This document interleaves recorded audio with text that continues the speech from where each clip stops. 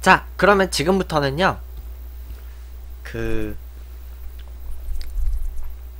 지금부터는 그 케이블 방송 케이블 방송에 대한 한번 얘기를 좀 해볼게요. 자, 케이블 방송은요. 유선으로 TV를 시청하는데 지상파가 아니에요. 종합 유선 방송이고요. 그 문제는요. 이 케이블은요. 지진 때문에 끊어지거나 홍수 때문에 침수가 되면 TV를 볼 수가 없어요. 음. 그렇고요. 이 케이블 방송은 1940년대 말 난시청의 타계를 목적으로 미국에서 시작이 됐어요. 그리고 우리나라는 1961년 유선방송 수신관리법이 제정이 됐고 그 TV 보급이 이뤄진 1970년대 부터 이제 시작이 됐어요. 근데 지상파 방송은 허가제거든요. 그 지상파 방송은 허가제인데 케이블 방송은 신고제예요. 그래서 누구나 운영할 수 있어요. 음. 근데 이제 1981년 1991년 12월 31일 종합 유선 방송법이 제정이 되면서 그 전까지 뭔가 그냥 중계 유선 방송은 몰라 그랬고 종합 유선 방송으로 개편이 돼요. 그래서 그 안테나로는 도무지 TV를 못 보는 지역에서 하나의 방송사가 선을 통해서 방송 신호를 공급을 해주는 거예요. 근데 이제 예전에 우리나라 방송국이 송출하는 전파 품질이 워낙에 안 좋았어요. 근데 문제는 국토 대부분이 우리는 국토의 70%가 산지죠. 그리고 아파트나 빌딩 같은 건물이 많으면 전파가 간섭을 받아서 도달이 안 된 거야. 응. 그래서 예전에는 유선 방송도 되게 공익성이 강했어요. 음. 근데 채널 수는 그렇게 별로 안 됐어요. 그래서 옛날에는 저작권 개념이 딱히 없어가지고 중계 유선업자들은요 지상파 TV의 평일 낮 정파 시간에는요 막 그런 그 옛날에는 TV 채널이 2번에서 20, 20번까지밖에 없었잖아요. 그래서 지상파 프로그램의 녹화본을 막 방영을 했고 TV에서 방영을 안 하는 최신 비디오도 막 틀어주고 음.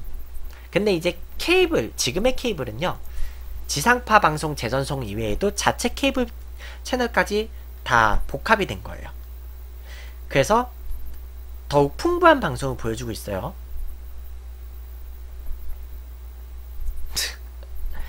어쨌든 그렇고요. 음. 근데 2000년대 들어오면서 유선 방송 사업자를 축소를 시켰어요, 정부가. 그렇고요. 그 이제 SO 프로그램을 전송하는 회사들은요.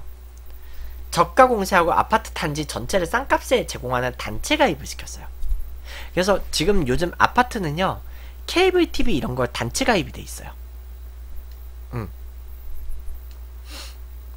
그래서 그 스카이라이프가 서비스를 시작하기 전까지는 거의 반강제로 그런 그 케이블 방송을 보게 됐어요. 지금 지역별로 마포 케이블 뭐 이런 거 있, 거든요 음.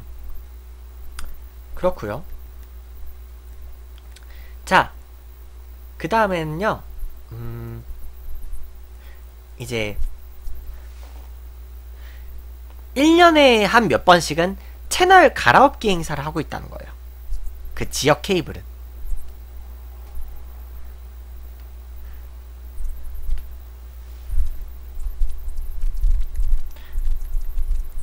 그렇고요.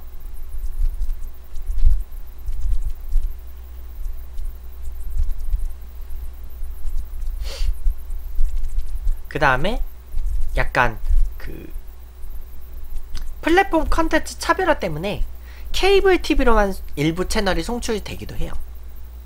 그렇고요. 근데 문제는 2008년부터 각 통신사가 IPTV가 실시간 방송을 하기, 하기 시작해요. 그래서 온미디어하고 CJ미디어가요. 각 통신사의 IPTV하고 채널 공급 계약을 체결을 하죠. 그래서 이제 시청자들이 플랫폼에 따라서 컨텐츠를 못 보는 그런 불합리한 사태는 일어나지 않고 있어요. 음. 그리고 그 디지털 케이블 TV가 이제 그 그런 약간 셋탑박스 이런 걸 이제 받게 됐죠. 그리고 지금은 다들 이제 HD 방송을 하고 있고요. 그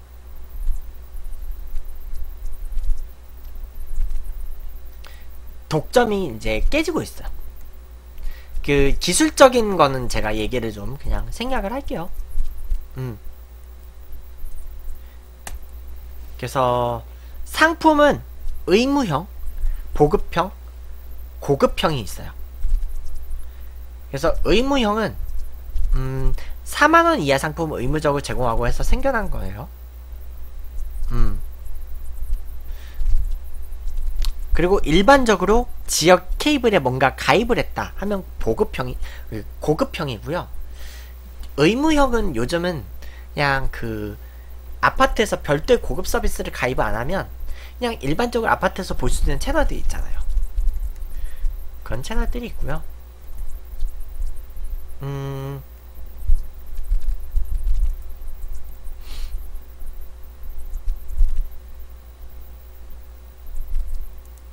그렇고요. 자, 그래서 케이블 방송 채널별로는요. 그 약간 CJENM 쪽은 채널이 굉장히 많아요. CJENM 쪽에서는 엠넷, TVN, 투니버스, 그리고 OGN, 온게임넷이죠? 그쪽 계열 채널이 있고요. 그 기타 채널에서는 그 뭐 여러 가지 방 그 채널들 많아 TV조선 이런 데도 있고 그리고 뭐 굉장히 지금 케이블 방송하는 그 송출을 담당하는 회사들이 굉장히 많아요. 지역별로도 있고요. 하여간 굉장히 많아졌어요. 그래서 솔직히 저는 뭐 그 저는 제가 스카이라이프 뭐 이런 거를 제가 가입을 안 해봤기 때문에 모르겠어요. 나중에 가입하면 어찌 될지는. 음. 근데 가입 안 할 것 같아. 자, 그렇고요 그, 디지털 방송. 기술적인 거는 그, 빼고요 우리나라 지금 지상파 방송사들은 100% 디지털 송출하고 있어요. 그렇고요 그, 디지털 송출을 하고 있고요. 그, 근데 이제 선진국들은 인터넷이나 위성 플랫폼 기준으로 디지털 방송으로 전환을 하고 있어요. 음. 그렇고요. 대한민국은요. 음, 현재 그 미래창조과학부에서 전파진흥 기본 계획이 발표가 돼 있어요. 그래서 그 근데 MBC가 아직 아웃 그 out-band 방식이 아닌 in-band 방식을 고집하고 있어서 디지털 라디오 쪽은 아직 대립하고 있고요. 근데 아날로그 중파 방송은 북한 때문에 일단 존치가 될 가능성도 있어요. 음. 그렇고요. 그래서 디지털 라디오 방송은 좀 약간 아직 전환이 좀 지지부진해요. 음. 자, 그 다음에 위성. 그 위성 방송은 방송 위성이 쏘는 그 공중에서 쏘는 방송 신호를 안테나로 수신하는 거예요. 그래서 이제 케이블 TV에서 보통 위성 채널을 직접 수신하는지 난시청 지역에서는 위성 안테나 우주에서 쏘는 안테나를 통해서 직접 수신하는 거예요. 음. 그래서 우리나라의 그 TV 채널은 그 1990년대 발사했던 그 무궁화 위성으로 수신을 해요. 그 대표적으로 우리나라에는 그 유료 방 유료 위성 방송의 대표적인 그 스카이라이프가 있죠. 접시. 음. 일본은 유료와 무료가 혼재되어 있으며 그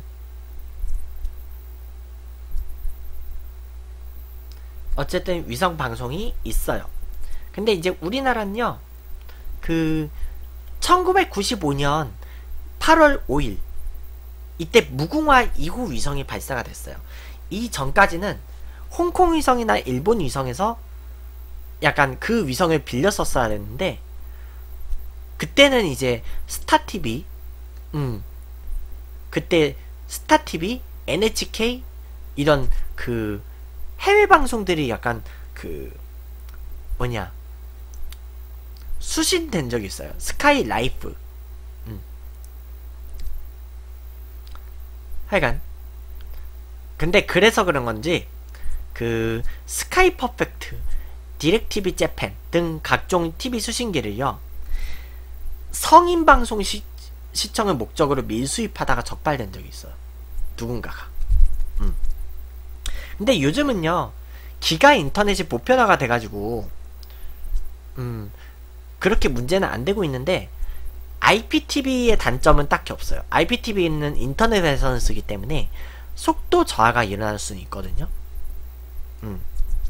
그리고 위성 방송은요. 유선하고는 달리 어디서든지 설치를 할 수가 있어요. 그래서 주로 섬 지역이나 산간 지역 같은 데 가면요. 다들 디지털 위성을 써요.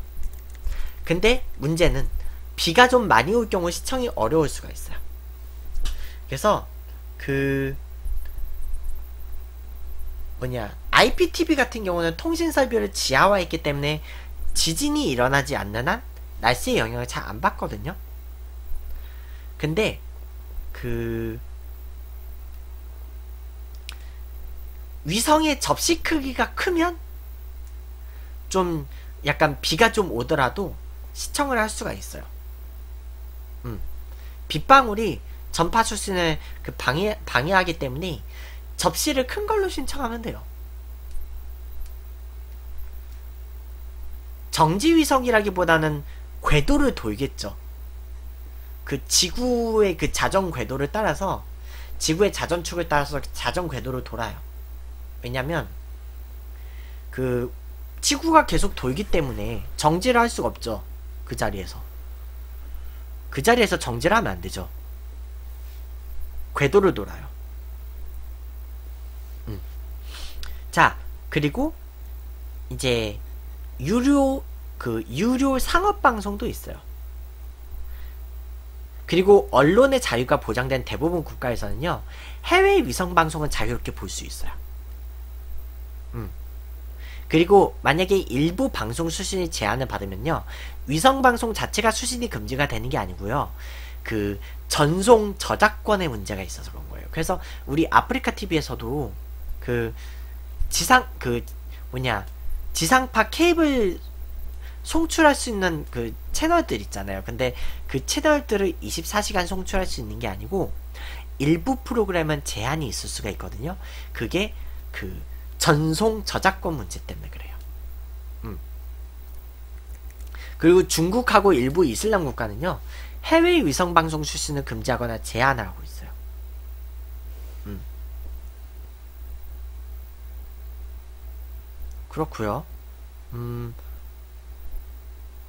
그래서 위성 방송을 볼 수 있는 방법은 TV, 파라볼라 안테나, 그리고 셋탑박스가 필요해요. 셋탑박스를 우리가 보고 싶은 화면, 모니터 이런 데다 깔고 그 안테나를 옥상 같은 그런 적절한 장소에 깔면 돼요. LNB하고 각도는 알맞게 조절해주면 돼요. 옥상이나 아파트든 베란다에다 또 깔죠. 그 스카이라이프 가입하면요. 자, 근데요, 뭐, 요즘 TV 수준이 되는 그런 모니터 아니면 PC 본체에다가 메인보드에다가 그 TV 수신 카드를 깔아도 송출은 가능하기는 해요. 음. 자, 그렇고요.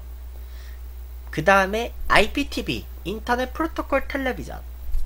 그래서 일반 실시간 방송뿐만 아니고 VOD하고 인터넷 서비스도 다 제공이 돼요. 그래서 PC가 아니고 셋탑박스를 통해서 시청을 할 수가 있어요. IPTV는 셋탑박스로 보는 거예요. 근데 이, 지금 현재 KT 올레 TV가 우리나라에서 점유율은 제일 많고요. 그 다음에 SK 브로드밴드의 BTV가 두 번째고 그 다음에 LG U 플러스의 U TV도 있어요. 음. 현재 IPTV 가입한 숫자는 1289만 명. 매출액이 무려 2조 4,300억 원이에요. 그렇고요. 그 다음에 4K급 화질을 하려면요.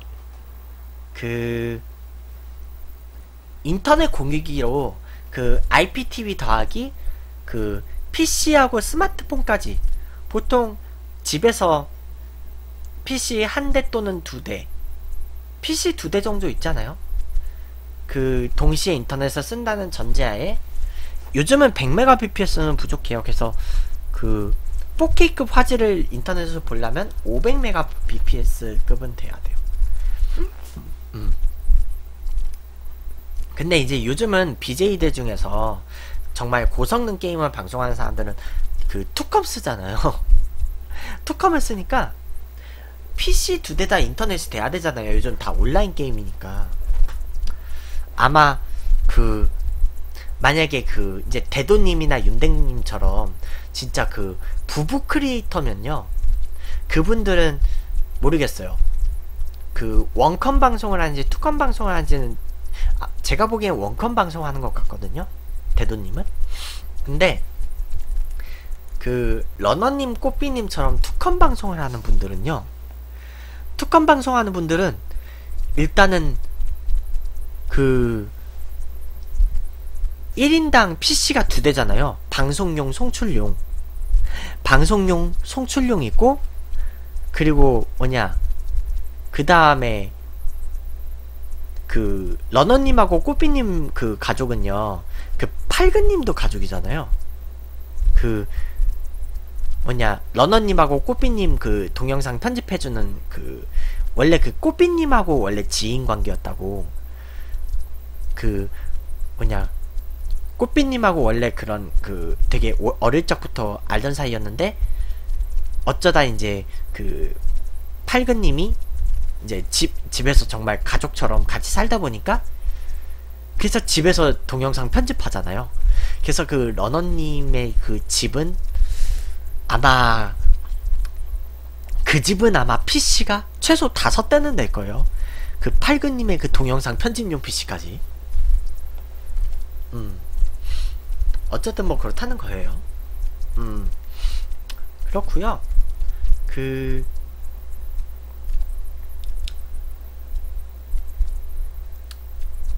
어쨌든 그래서 IPTV 시청하고 인터넷을 동시에 시청하려면요 최소 50mbps급 이상 bps급 이상의 회선은 필요하다는 거예요. 그래서 그 IPTV 서비스하는 대기업 통신 3사는요 전부 다 비슷해요 요금제가. 그 일반 요금제가 9,000원에서 만원 정도 하고요. 그리고 중간 가격 요금제가 15,000원. 그리고 고가 요금제가 한 달에 2만원 이상. 그리고 부가가치세, 셋탑박스 등의 요금은 더, 내, 더 내요. 그리고 요즘은 IPTV 회사들도 전부 다 요즘은 다 그 4K 서비스가 되거든요. 지상파들이 지금 4K가 시범 방송이 되고 있기 때문에. 음. 근데 해당 방송국들이 솔직히 4K급 장비까지 이용해서 송출한 거 아니에요. 그 2K급이에요. QHD. 음. 그리고 셋탑박스 임대를 해서 사실 금액, 차이, 금액 차이가 좀 있는 거예요. 음. 그리고 인터넷 결합 할인이 안 되면 금액, IPTV는 솔직히 금액이 좀 더 비싸요. 음. 그리고 지상파 일부 프로그램 다시 보기 요금이 좀 인상이 되죠. 요즘은 IPTV 때문에 다시 볼 수 있잖아요. 음. 그래서, 음. 뭐냐. 저는 아직 IPTV를 가입을 안 해봐서 저는 모르겠어요. 음. 그렇구요. 그리고 케이블이 아직 채널 수 자체는 IPTV보단 많아요. 근데 IPTV들이 요즘 컨텐츠 확보를 좀 많이 노력을 하기 때문에 그 이제 지상파 계열 PP를 비롯한 케이블 인기 채널들 뭐 KBS N 스포츠, 응? MBC 스포츠 플러스 1, 2, 응? SBS 스포츠 플러스 뭐 이런 각종 채널들 있잖아요. 인기 채널들 다 볼 수 있어요. 음. 근데 이제 케이블 SO들이 지상파하고 재송신 요금 갈등 때문에 좀 IP, IPTV로 좀 갈아타려는 시청자들이 좀 있어요. 음. 몰라. 저도 나중에 아마 따로 나가 살게 되면 저도 왠지 IPTV는 좀 챙겨 볼 것 같아요. 그런 그 프로그램 그 약간 그 뭐냐 그 프로그램 약간 그 시청 프로그램 시청 약간 이런 거에 관해서 프로그램 보고 약간 그런 리뷰하는 컨텐츠도 좀 해보고 싶어서 음. 근데 문제점은 지상파 다시 보기 이런 거 약간 좀 유료화가 있으니까 높은 컨텐츠 요금이 약간 좀 불만이 많죠 음. 그렇고요 그런 인, IPTV는 모르겠어. 제가 나중에 이제 부모님하고 이제 독립해서 따로 나가 살게 되면 음, 자취 말고 자취하고 독립은 다른 거죠. 음. 자취는 조금 다른 거, 자취하고 독립은 조금 다른 거고요. 뭐 그렇다는 거예요.